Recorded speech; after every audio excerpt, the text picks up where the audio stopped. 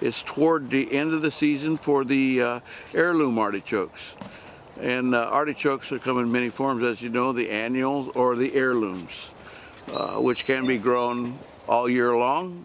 It's getting to be the end of the season for the heirlooms. The uh, annuals will be coming on.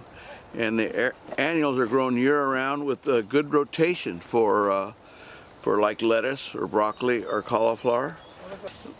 Under current regulations, it's very difficult to keep a crop, uh, artichoke crop growing.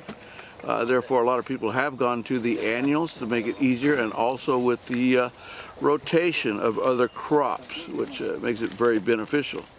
Uh, that's why you'll see a price difference of the heirlooms versus the, uh, the annuals.